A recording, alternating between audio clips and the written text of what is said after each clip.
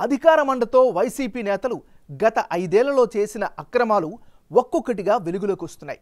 తిరుపతి మాజీ deputy mayor యువనేత భూమన అభినయ్ రెడ్డి మోజుపడి ప్రజల సొమ్ముతో కొన్న రెండంతస్తుల బస్సు షడ్డకి చేరింది.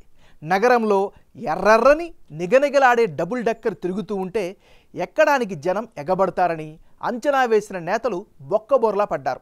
ప్రజాధనాన్ని వృధా చేసి కోట్లు ఖర్చు పెట్టి కొన్న బస్సు ఇప్పుడు చెత్త కుప్పల వద్ద దర్శనమివ్వడం పట్ల విమర్శలు వెల్లువెత్తుతున్నాయి.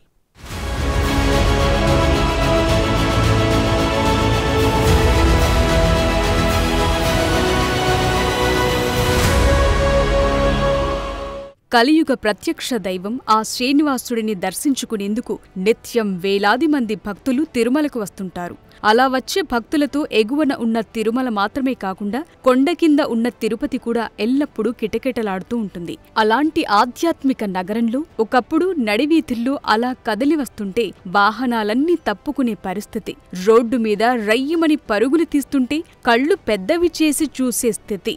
కాని ఇప్పుడు ఏది? నాటి వైభోగం? ఏవి? ఆనాటి కళాకాంతులు? ఆర్భాటంగా మొదలై అలంకారప్రాయంగా మారి ఇప్పుడు చెత్త వాహనాల పక్కన గమ్మున నిల్చున్న పరిస్థితి. ఇది తిరుపతిలోని రెండంతస్తుల బస్సు కథ.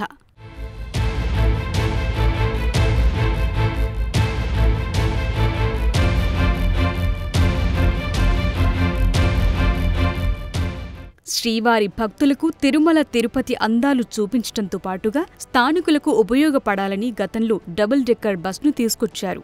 గతేడాది ఆర్భాటంగా ప్రారంభించారు. అయితే ఆర్భాటంగా ప్రారంభమైన డబుల్ డెక్కర్ బస్ అలంకారప్రాయంగా మారింది. ప్రస్తుతం చెత్త వాహనాల పక్కన చేరింది. మాజీ డిప్యూటీ మేయర్ తిరుపతి యువనాయకుడైన భూమన్ అభినయ్ రెడ్డి మోజుపడి ప్రజల సొమ్ముతో కొన్న రెండంతస్తుల బస్సు షెడ్డుకు చేరింది. దాదాపు రెండు పాయింట్ ఐదు కోట్ల ప్రజాధనం పోసి తిరుపతి కార్పొరేషన్కున్న ఎలక్ట్రిక్ డబుల్ డెక్కర్ బస్ చెత్త కుప్పల్లో దొరికే పాత బొమ్మలా మారిపోయింది.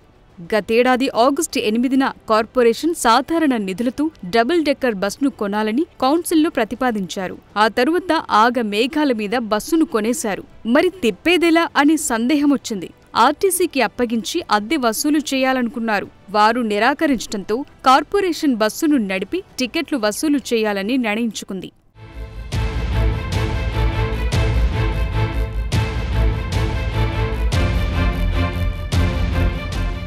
ఇరుకు రోడ్ల నగరంలో ఇంతెత్తు బస్సు తిప్పటం కష్టం కావటంతో రాత్రికి రాత్రే రెండు వేలకు పైగా చెట్ల కొమ్మలను నరికి నేలకూల్చేశారు గతేడాది అక్టోబర్ పన్నెండున బస్సును రోడ్డుపైకి తీసుకొచ్చారు. ఎక్కడ ఎక్కి దిగినా బస్ ఛార్జీ యాభై అని నిర్ణయించారు.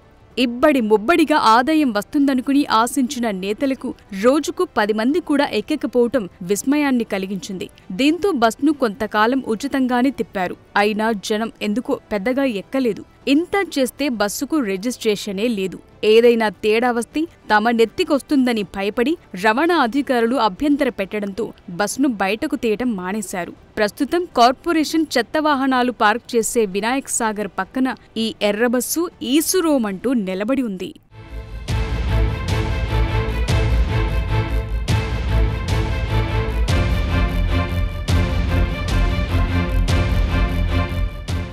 సుమారుగా రెండున్నర కోట్లు ఖర్చు పెట్టి తెచ్చిన బస్సును అలా చెత్త వాహనాల పక్కన పడేయటంపై విమర్శలు వ్యక్తమవుతున్నాయి. అంత నిధులు ఖర్చు పెట్టి తీసుకొచ్చిన బస్సును ప్రజల కోసం అందుబాటులోకి తేవాలని కోరుతున్నారు. టీటీడీతో మాట్లాడి ఈ బస్ను వారికి అప్పగిస్తే తిరుపతి రైల్వే స్టేషన్ బస్టాండ్ నుంచి శ్రీవారి మెట్టు వరకు భక్తులను తరలించేందుకు వీలుగా ఉంటుందని సూచనలిస్తున్నారు మరి ఈ సలహాలను అధికారులు స్వీకరిస్తారా? ఈ హైటెక్ బస్కు డంపింగ్ యార్డ్ నుంచి విముక్తి లభిస్తుందా? చూడాలి మరి.